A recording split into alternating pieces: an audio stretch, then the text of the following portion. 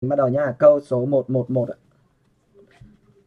à, phần này à, chúng ta mà muốn học giỏi phần này thì chúng ta phải à, à, cùng làm với lại chúng mình. Cùng làm thì chúng ta mới à, làm được còn nếu không là toang đấy à, câu 111 câu 111 sục khí CO2 và các dung dịch riêng biệt chứa các chất. Số phản ứng hóa học đã xảy ra là sục khí CO2 vào dung dịch riêng biệt chứa các chất số phản ứng hóa học đã xảy ra là ở đây mình có CO2 vào tác dụng với Na cái chỗ này mình phải viết rồi. Đây nha, chúng mình viết cho các cháu của mình nhá. CO2 CO2 này. Mà vào anh Na ALO2 này, thì nó tạo thành là ALOH 3 lần, cộng với lại NaHCO3 một cháu xảy ra nhá CO2 vào NaOH dư. Mà vào NaOH dư. Thì nó tạo thành Na 2CO3 này. Hai cháu xảy ra nhá. CO2 mà vào Na2SiO3 CO2 vào H2O vào Na2 SiO3 thì mình thu được là H2 SiO3 cộng với lại Na HCO3 này. Được chưa? Có tiết này. CO2 này vào nước này, vào Na ClO này thì mình thu được Na HCO3 này cộng với lại HClO này. Có tiếp này.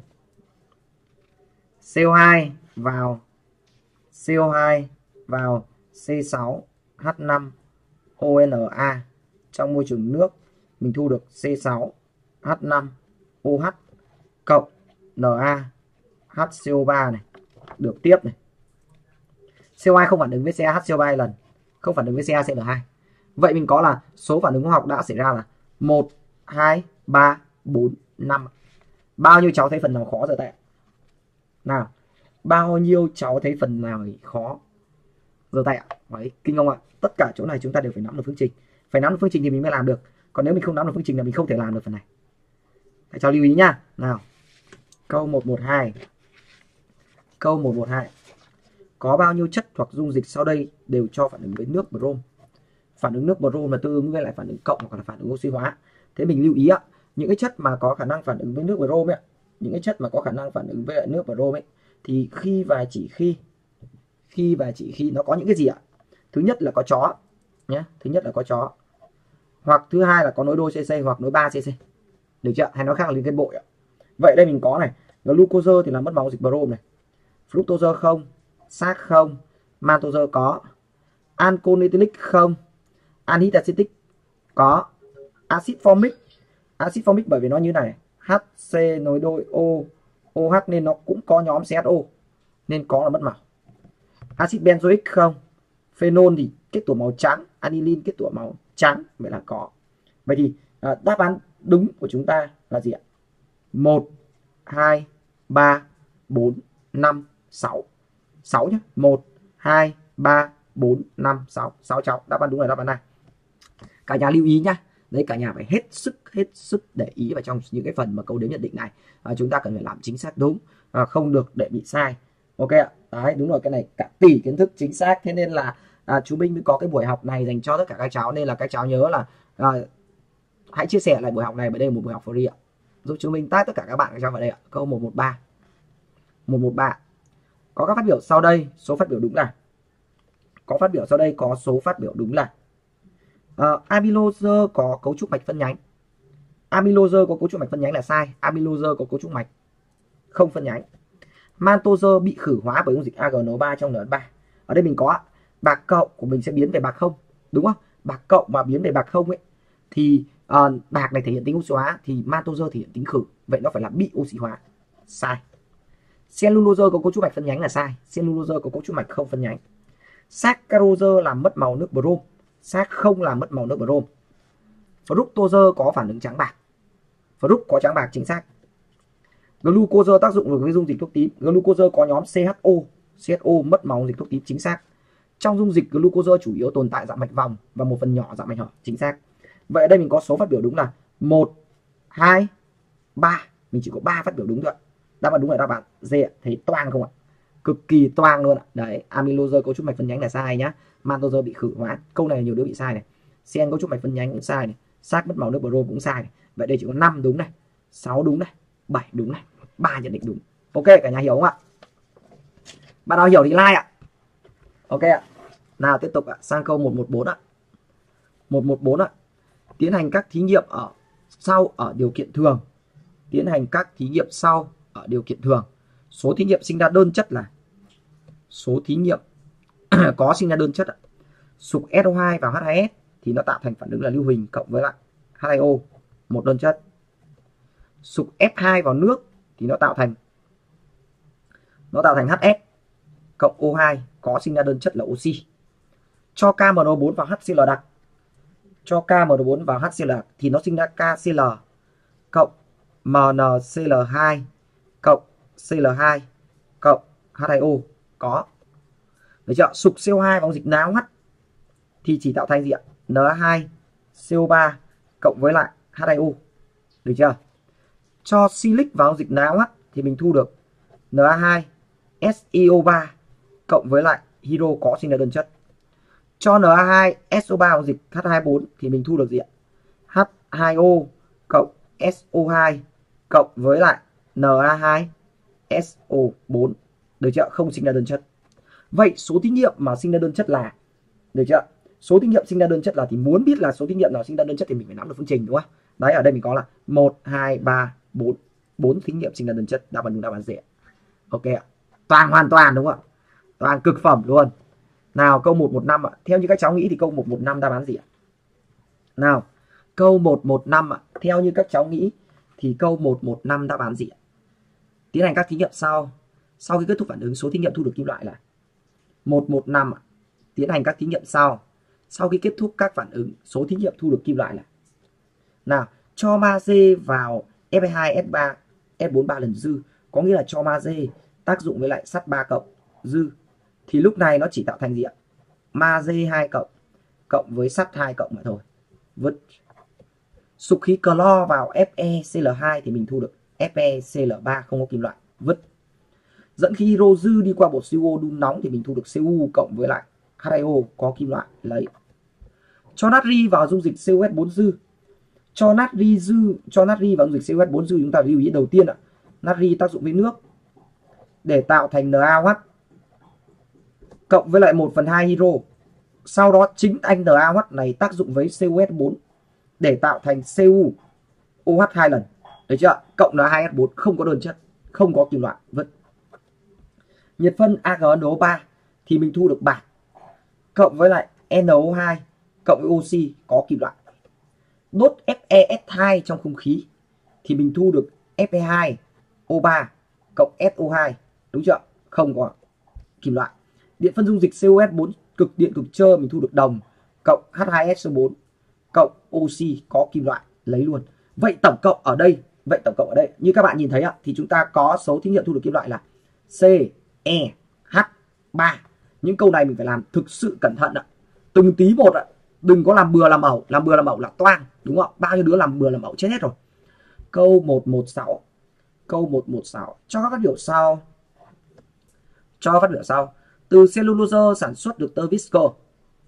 Từ cellulose sản xuất được tơ visco đúng hay sai đúng ạ cellulose là à, visco là cellulose nhúng vào CH2 glucose còn được gọi là đường mía chính xác. Fructose được gọi là đường mật ong chính xác. Cao su buna N và buna S đều thuộc loại cao su thiên nhiên cái này sai. Tính bazơ của anilin thì yếu hơn so với metinamin chính xác.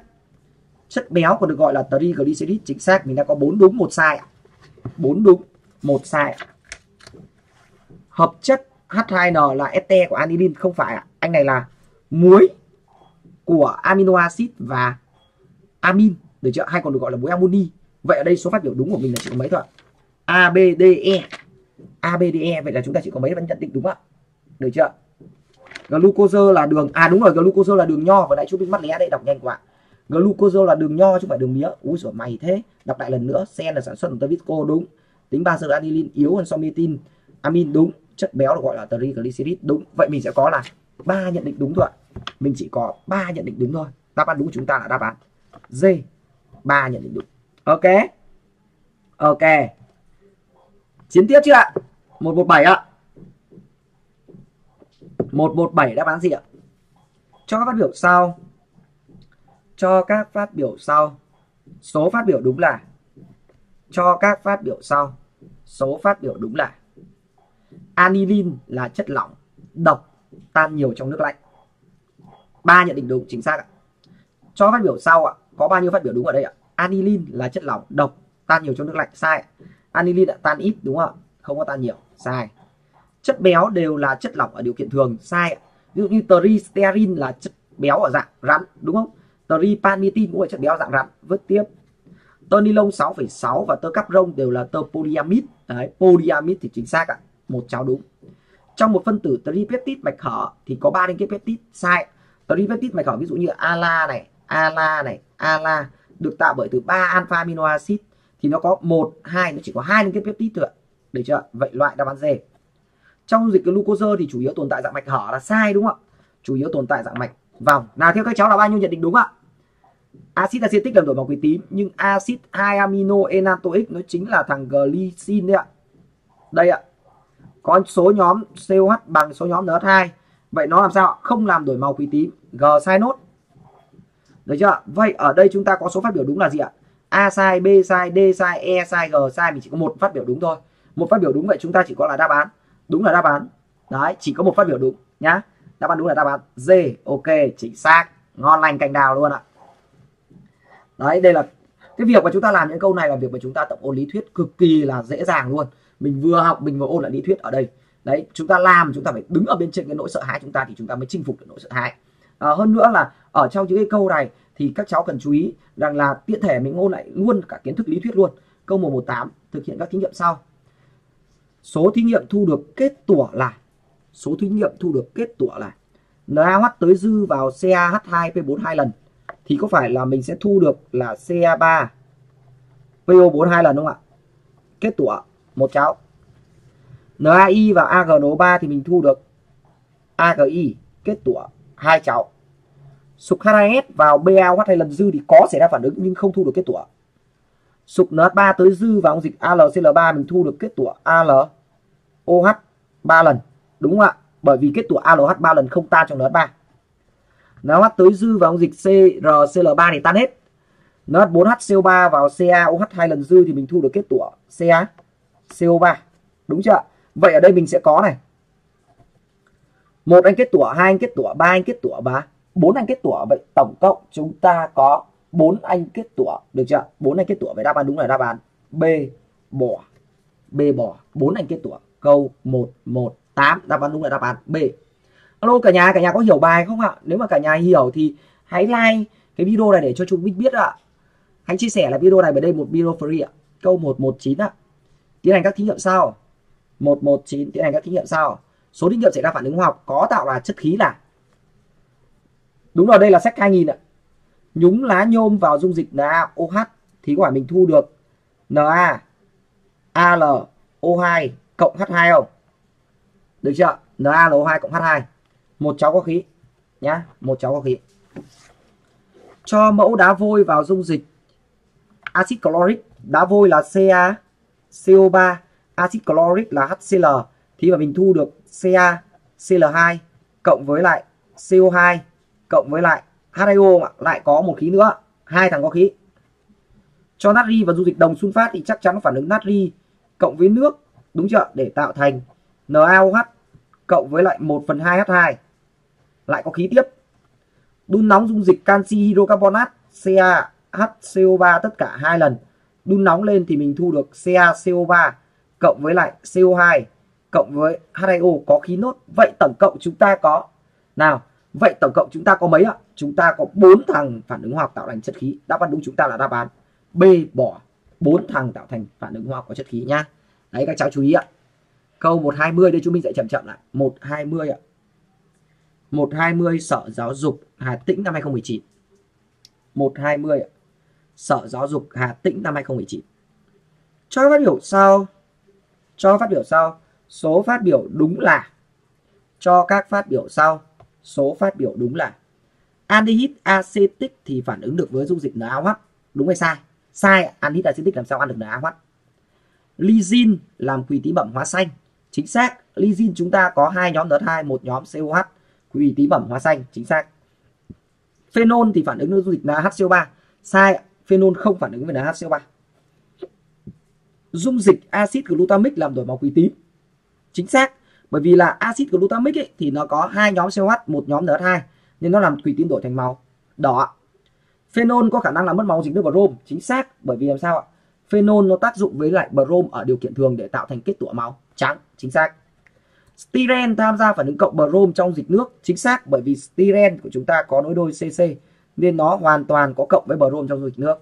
Một cháu, hai cháu, ba, đây, một cháu đúng này, hai cháu, ba cháu, bốn cháu đúng. Vậy số phát biểu đúng của chúng ta là bao nhiêu ạ?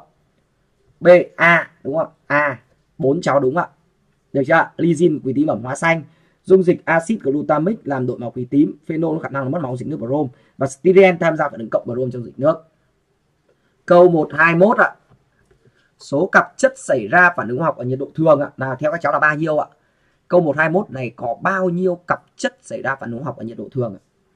Khoai ạ, cực kỳ khoai ạ. Khoai hơn cả khoai lang mẹ nấu, đúng không? Nào mình có ạ, thủy ngân cộng với lại lưu huỳnh thì chắc chắn nó tạo thành HGS và phản ứng này chuyên dùng để phản ứng thu hồi thủy ngân, nhá. H2S cộng SO2 thì nó tạo thành lưu huỳnh cộng với H2O đúng chưa? Đấy, hai cháu này có này. Hs vào CuCl2 thì nó tạo thành CuS cộng HCl kết tủa CuS không tan trong axit. Mạnh. Ok, được. K2CR2O7 cộng KOH thì có, nó tạo thành K2CrO4 được chưa? Có. Cộng nước. NaH2PO4 và Na3PO4 là không xảy ra phản ứng. AgNO3 và FeCl3 là có. Bạc cộng cộng Cl trừ để tạo thành AgCl có. Dung dịch NaHS4 thì ở đây mình có là H cộng này, các cháu nhìn rõ chưa? Ở đây có sắt 2 cộng này. Ở đây có NO3 trừ này, H cộng và NO3 trừ coi như H HNO3. Đúng chưa? Vậy thì nó sẽ oxy hóa thành sắt 2 cộng lên sắt 3 cộng. Có nốt. Vậy số cặp chất xảy ra phản ứng là 1 2 3 4 5 6 tổng cộng mình có 6 cặp chất xảy ra phản ứng ở nhiệt độ thường đáp án đúng là đáp án à ok chúng mình nhìn thấy có rất rất nhiều cháu comment đúng ạ rất rất nhiều cháu comment đúng ạ? Rất là cảm ơn tất cả các cháu đã đang theo dõi buổi học ngày hôm nay ạ. À, hãy giúp chú Minh là à, chia sẻ lại buổi học này lại về tường ở đây một buổi học free ạ. Câu 122 ạ. Câu 122 cho từ từ một lượng nhỏ. Cho từ từ ui những câu này khoai nhỉ? Cho từ từ một lượng nhỏ dung dịch HCl và dung dịch X thì thấy không có hiện tượng gì. Đây HCl và AlCl3 không hiện tượng gì và AlCl3 và HCl không hiện tượng gì. Vào NaLO2 là có xuất hiện kết tủa với loại người đáp án C và anh này anh không hiện tượng gì. Cho tiếp HCl vào thì thấy du dịch bị vận đục. Có nghĩa là một, được một khoảng thời gian thì thấy vận đục. Thế vứt rồi. Thằng này không có vận đục. Thằng này cũng vậy. Chẳng có vận đục gì cả. Vậy đáp án đúng chúng ta đáp án D. Đúng chưa? Đây, sau khi HCl trung hòa hết thằng NaOH thì bắt đầu tác dụng với NaLO2 để có vận đục. Được chưa? Sau đó, thằng HCl dư lại ăn hết thằng ALOH 3 lần, thì lại trong trở lại. Được chưa? Sau đó thêm đá vào thì thấy lại bị vận đục. Đá dư thì lại trong lại. Đấy, vậy đáp án đúng của chúng ta nó là đáp án D nha các cháu nhé hello, chào tất cả nhà câu 123 câu 123 đề sở giáo dục Nam Định lần 1 năm 2019 ạ. 123 đề sở giáo dục Nam Định lần 1 năm 2019 ạ. Các oxit của kim loại kiềm thì đều phản ứng với CO tạo thành kim loại, đúng hay sai ạ? Các oxit của kim loại kiềm thì đều phản ứng với CO để tạo thành kim loại. Sai lè đúng không ạ? Bởi vì oxit kim loại kiềm thì không bị không bị khử được, đúng không? Vứt các kim loại, oxit của kim loại kiềm thì nó chỉ có thể là điều chế bằng phương pháp là là là điện à đâu có gì à oxit kim loại kiềm ấy thì gần như là không thể bị CO ăn bởi vì CO chỉ ăn các thằng oxit của thằng đứng ở sau nhôm thôi. À, ý B các kim loại magie Cu nhôm natri chỉ điều chế được bằng phương pháp điện phân nóng chảy. Sai ạ. Thằng đồng thì chúng ta có thể bằng nhiệt luyện hoặc là điện phân dung dịch nhá. Để một thanh kẽ thép ngoài không khí ẩm sẽ xảy ra mòn điện hóa học. Để một thanh thép mà ngoài không khí ẩm sẽ xảy ra mòn điện hóa học chính xác gắn miếng kẽm vào vỏ tàu, phần ngâm nước để bảo vệ vỏ tàu bằng thép. Chính xác, đây là phương pháp anốt hy sinh nhá, phương pháp điện hóa vậy mình có C và D đúng. C và D đúng, vậy chúng ta có số phát biểu đúng là hai. Đáp án đúng là đáp án C 2 câu hạ 124 124 nào cả nhà ơi, đáp án gì ạ? 124 thực hiện các thí nghiệm sau. Thực hiện. Thực hiện các thí nghiệm sau. Sau khi phản ứng xảy ra hoàn toàn, số thí nghiệm sinh ra chất khí là thực hiện các thí nghiệm sau. Sau khi phản ứng xảy ra hoàn toàn, số thí nghiệm có chất khí sinh ra là nào, sau khi các phản ứng xảy ra hoàn toàn ạ số thí nghiệm có chất khí sinh ra. Là à hello chú Minh, chào tất cả các con nha. Cho dung dịch NaOH vào NH4Cl thì mình thu được khí NH3 bay lên. Đúng không ạ? Cho Fe vào HNO3 đặc nguội thì chú ý là sắt, nhôm, sắt chrome bị thụ động nên là không xảy ra phản ứng. Cho dung dịch NH3 vào AlCl3 dư NH3 và AlCl3 dư thì mình thu được kết tủa Al OH 3 lần thôi chứ cũng chẳng có khí, đúng không ạ? Vứt tiếp. Kim loại magie và HCl loãng thì tạo thành MgCl2 cộng với lại H2 bay lên. Có khí sinh ra có khí sinh ra FeS vào HCl FeS mà vào HCl thì mình thu được H2S bay lên. Có khí sinh ra nung nóng FeNO3 3 lần thì nó tạo thành Fe2O3 cộng với lại NO2 cộng với lại O2 có khí sinh ra. Vậy hoàn toàn ở đây chúng ta có số thí nghiệm sinh ra chất khí là 1, 2, 3, 4. 4 thí nghiệm sinh ra chất khí. Vậy đáp án đúng chúng ta là đáp án B, bỏ. 4 thí nghiệm sinh ra chất khí ạ. Ok ạ. 125 nào các cháu ơi. 125 ạ. 125 đáp án gì ạ? Đề Sở Giáo dục Nam Định lần 1 năm 2019. Đề Sở Giáo dục Nam Định lần 1 năm 2019 ạ. Cho các phát biểu sau.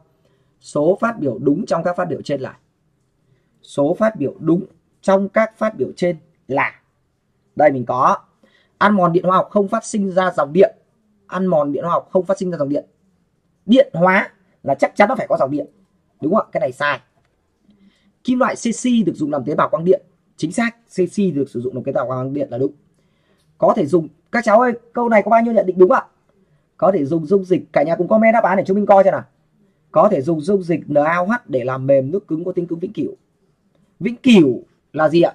Vĩnh cửu là gồm có đây à, Cl trừ SO4 trừ canxi 2 cộng magie 2 cộng. Vậy thì NaOH vào chẳng để làm cái kẹo gì hết. Đúng chưa? Vứt. NaOH chỉ sử dụng để làm mềm cái nước cứng có tính cứng tạm thời ạ. Trong dịch BaOH hay lần dư và phèn chua phèn chua là có muối nhôm sunfat vậy thu được kết tủa là Ba SO4 đúng không ạ? Phèn chua đây này.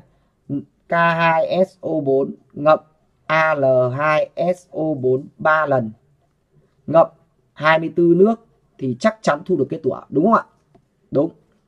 Trong tự nhiên, các kim loại kiềm chỉ tồn tại dưới dạng đơn chất. Trong tự nhiên, các kim loại kiềm chỉ tồn tại dưới dạng đơn chất là sai, tồn tại dạng hợp chất. Hàm lượng carbon trong thép cao hơn trong gang là sai, trong gang phải cao hơn trong thép. Vậy ở đây mình có số phát biểu đúng là B đúng, D đúng.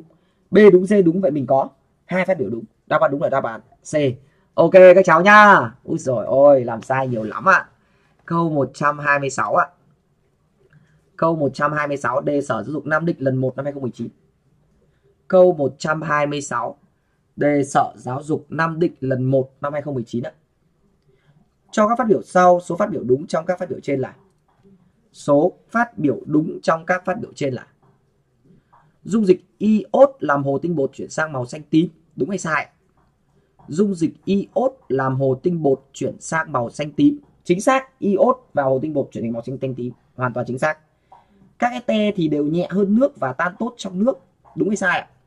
Các este đều nhẹ hơn nước và tan tốt trong nước. Nhẹ nước là đúng nhưng tan tốt trong nước là sai. Tơ cellulose acetate được sản xuất từ cellulose, chính xác tất cả các peptide thì đều có phản ứng với COH hai lần tạo hợp chất màu tím, chính xác.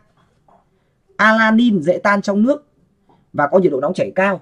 Alanin của chúng ta là gì ạ? Là có đầu nhóm NH2 và nhóm CH dễ tan trong nước, chính xác. Nhiệt độ nóng chảy cao cũng chính xác, bởi vì ở điều kiện thường thường nó tồn tại trong trạng thái ion lưỡng cực, nên là nó sẽ nhiệt độ nóng chảy cao. Hợp chất hữu cơ nhất thiết phải có carbon và hydro là sai, nhá. Chỉ cần có carbon thôi, không cần có hydro.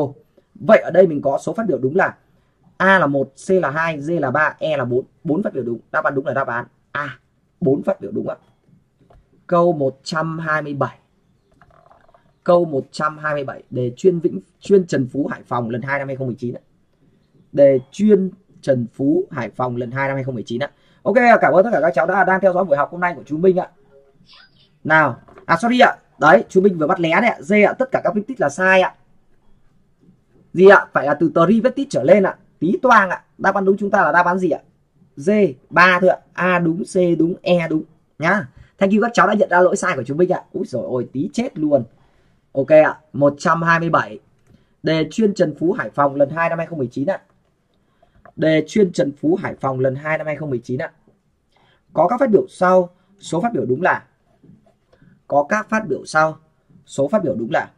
Kim loại đồng khử được sắt hai cộng trong dịch. Đồng thì không bao giờ ăn được sắt hai cộng nhá. Đồng không bao giờ ăn được sắt hai cộng hết, vứt. Được chưa? Không thể điều chế kim loại natri bằng phương pháp điện phân dung dịch mới ăn. Chính xác, điện phân dung dịch thì không bao giờ không bao giờ điều chế được các anh kim loại đứng đằng sau, đứng đằng trước là nhôm cả. CRO3 tác dụng với nước tạo thành dung dịch chứa hai axit đúng. Vậy không thể điều chế natri bằng điện phân này cũng đúng. ALH 3 lần vừa tác dụng với NaOH vừa tác dụng với dung dịch HCl. Chính xác.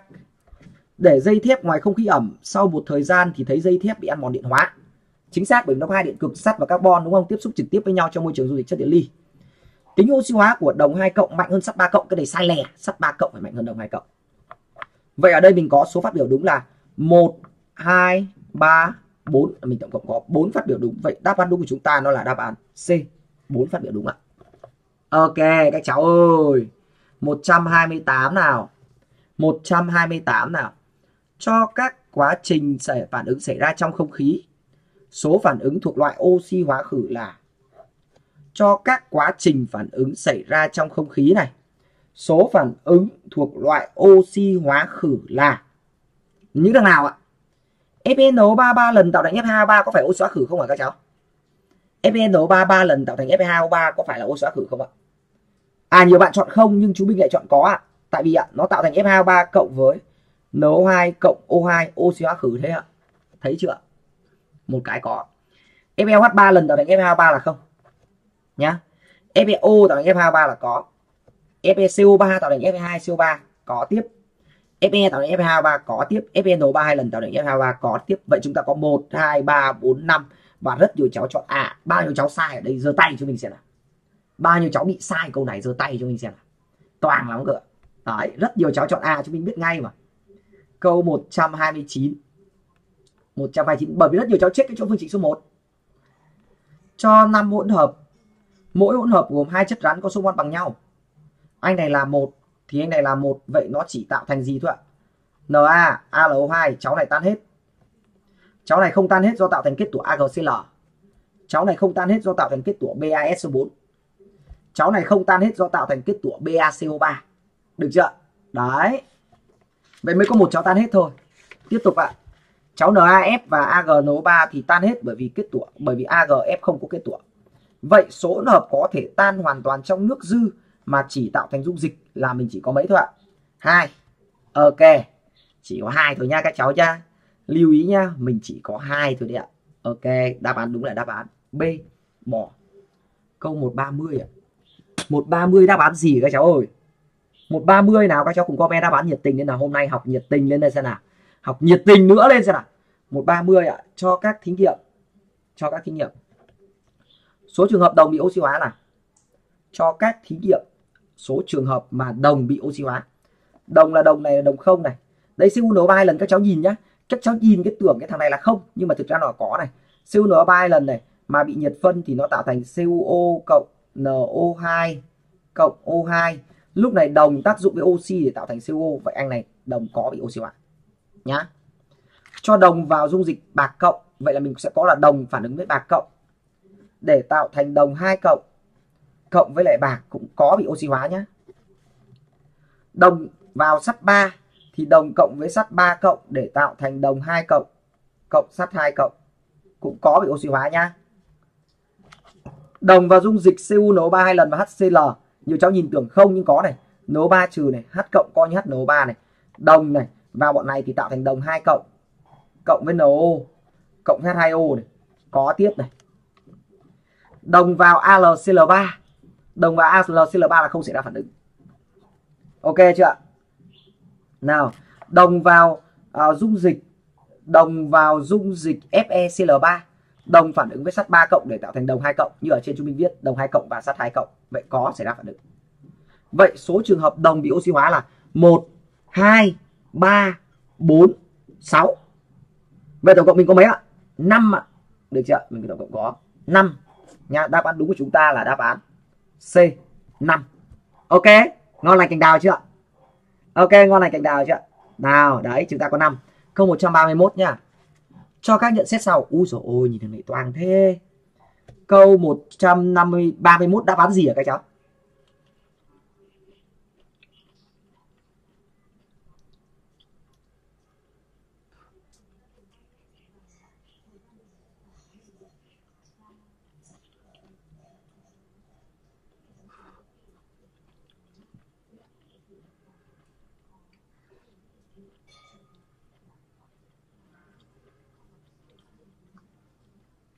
Một trăm ba mươi ạ.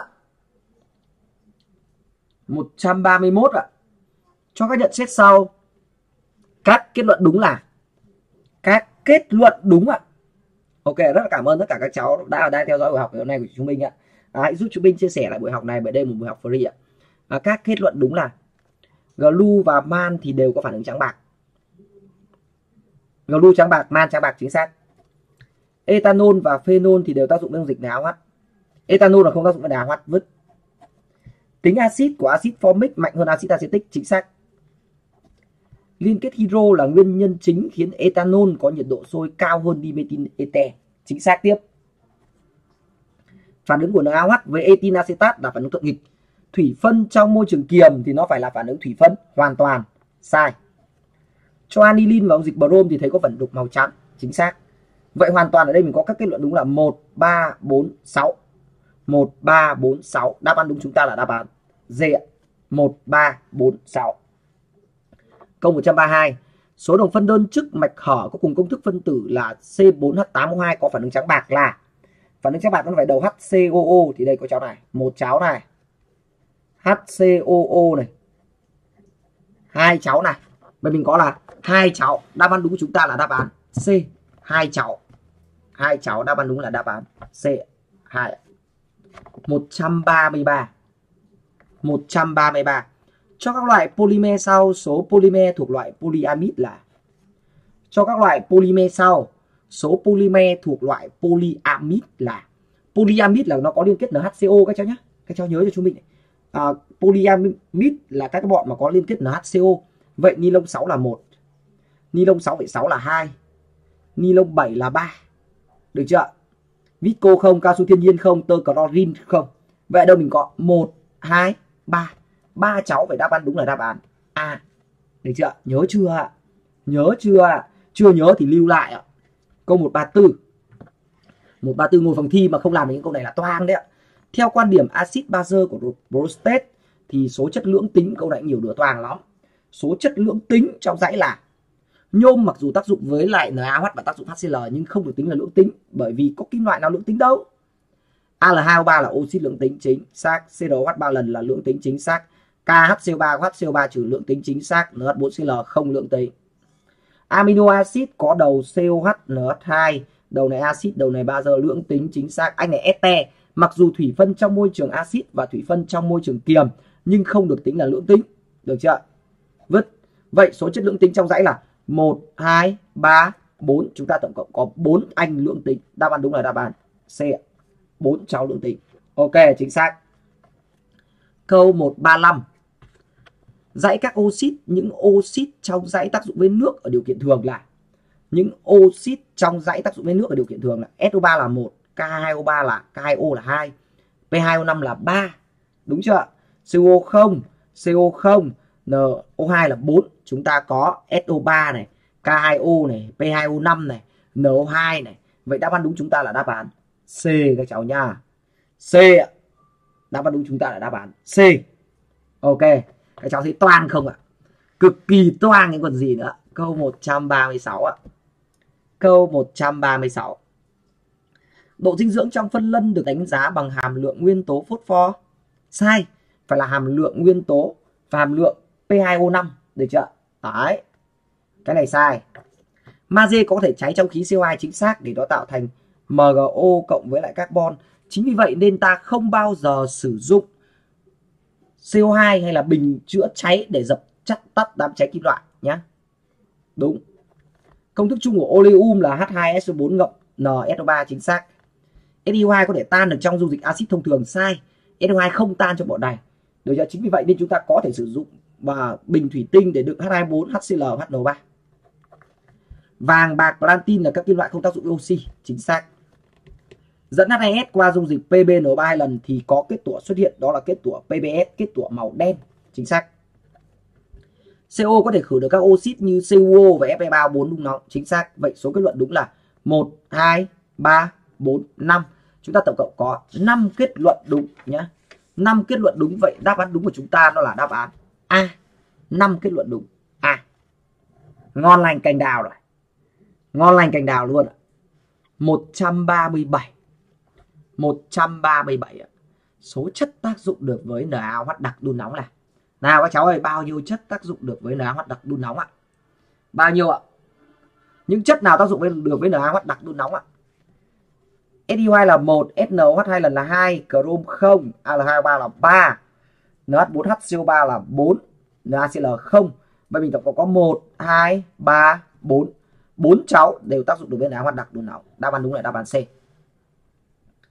Câu 138. Câu 138. Khi cho đồng vào số chất phản ứng được với nhau là số chất mà phản ứng được với nhau là các cháu lưu ý nhá ở đây đề bài hỏi chúng ta là số chất mà có thể phản ứng được với nhau ạ đồng vào FeCl3 thì mình có là đồng 0 cộng với sắt 3 cộng để tạo thành đồng 2 cộng và sắt 2 cộng. Có. H2S vào dung dịch CuSO4 thì mình thu được CuS cộng H2SO4 có. Và làm sao ạ? CuS không tan trong H2S4 Hi vào FeCl3 đây là phản ứng oxy hóa khử. Mình sẽ tạo thành là FeCl2 cộng Y2 được chưa? Có. AgNO3 vào FeCl3 thì có để nó tạo thành là bạc cộng cộng Cl trừ, tạo thành AgCl có. HCl vào FeNO3 hai lần, thì đây mình có H cộng này, đây mình có NO3 trừ này, đây có sắt 2 cộng này. Được chưa? Vậy thì hoàn toàn nó sẽ có xảy ra phản ứng để tạo thành sắt 3 cộng cộng NO đúng chưa? Có tiếp. Vậy số chất phản ứng được với nhau là 1 2 3 4 5 5 chất phản ứng được với nhau. Vậy đáp án đúng chúng ta nó là đáp án C 5 chất. Ok. Câu 139 ạ. 139 cho dãy các chất, số chất trong dãy tham gia được phản ứng với AgNO3 trong NH3 là số chất trong dãy tham gia được phản ứng với AgNO3 trong NH3 là để mà tham gia được phản ứng với AgNO3 trong NH3 thì khi phải khi nó có nhóm chó và hoặc là nhóm, hoặc là nối đôi, đúng không? Nối đôi CC an một in ạ. Anhydride formic là một acid acetic không etin acetat không. Acid formic HCOOH có là hai. Alcohol không. Metin format HCOOCH3 có đầu HCO có. Acetylen C nối 3CH có hydro linh động có. Vinin acetylen đây cháu này cũng có luôn nhá. À, ethylene không glucose có chó có saccharose không vậy hoàn toàn ở đây mình có này, số chất trong dãy mà tham gia phản ứng được với dung dịch AgNO3 là 1 2 3 4 5 6 6 chất các cháu nhá. 6 chất vậy đáp án đúng chúng ta là đáp án B. Bỏ trong những cái câu này mình cần đếm sai một chất thôi là toang luôn cả mấy năm học hành của chúng ta. Câu 140 ạ. 140 ạ có bao nhiêu chất đều phản ứng được với natri và COH hai lần ở nhiệt độ thường. Có bao nhiêu chất mà đều phản ứng được với natri và COH hai lần ở nhiệt độ thường. Bao nhiêu ạ? Bao nhiêu chất ạ? Nào các cháu, bao nhiêu chất ạ? Còn nhớ không ạ? Có bao nhiêu chất đều phản ứng được với natri và COH hai lần ở nhiệt độ thường. Thì chú ý ạ, anh này có OH đúng không? Thì phản ứng được cả natri và COH hai lần bởi vì nó là OH đa kề được chưa một cháu cháu này không phải OH đa kề, cháu này OH cách nhau một thằng carbon. Không ạ. Cháu này có một nhóm OH chỉ tác dụng với natri, không tác dụng với COH hai lần. Vứt tiếp. Cháu này là OH đa kề này, tác dụng được cả natri, tác dụng được với cả COH hai lần này. Có tiếp. Nhóm này là nhóm, chức này là có nhóm chức axit, đúng không? Axit thì tác dụng với natri, axit thì cũng tác dụng với bazơ là COH hai lần. Có tiếp. Anh này là ceton ceton thì không. Anh này ạ có nhóm OH tác dụng với lại natri có nhóm CSO tác dụng với COH hai lần nhưng nó phải đun nóng nhẹ chứ không phải ở nhiệt độ thường. Toang tiếp ạ. Vậy mình có là một chất, hai chất, ba chất thôi. Vậy ở đây chúng ta chỉ có ba chất phản ứng được với natri và COH hai lần ở nhiệt độ thường thôi. Đáp án đúng chúng ta là đáp án A.